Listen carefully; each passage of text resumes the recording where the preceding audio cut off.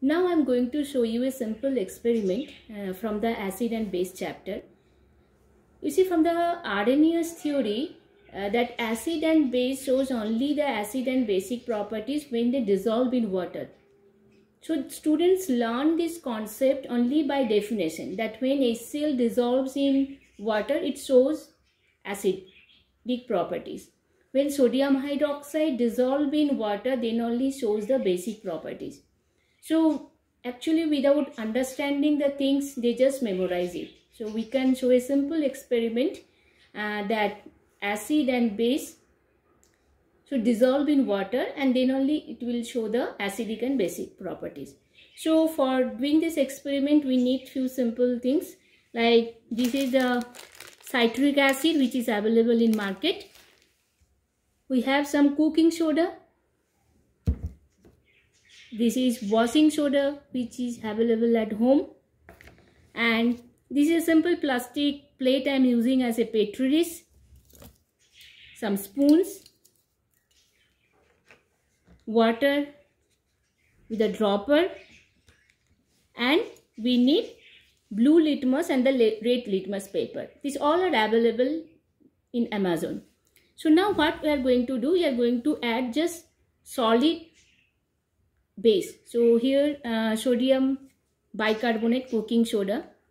We are going to add just few mg of uh, sodium bicarbonate and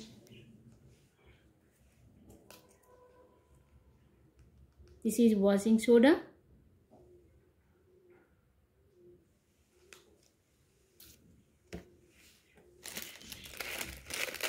and just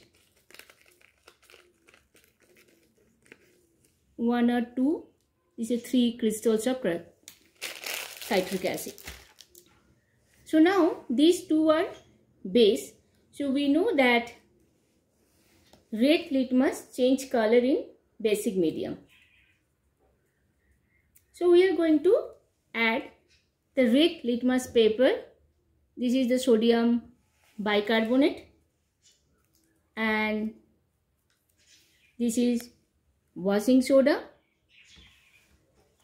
And we know blue litmus change color in acidic medium. So we are going to add some blue litmus in citric acid. Just we can put the citric acid over the litmus paper. Is there any color change? No. There is no color change is happening now what we should do? We'll be adding few drops of water. Now let's see what is happening. See. Immediately that blue litmus the red litmus turns into blue.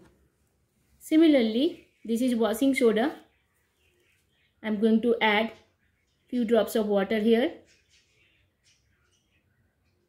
Now red litmus turn into blue. Now this is a citric acid. We are going to add few drops of water here. Now you can see the blue litmus is slowly changing into red color. So this simple experiment you can see students will understand what is the importance to add acid and base into water then only it will give you H plus ions or H minus ions and then only it will show the acidic and basic properties.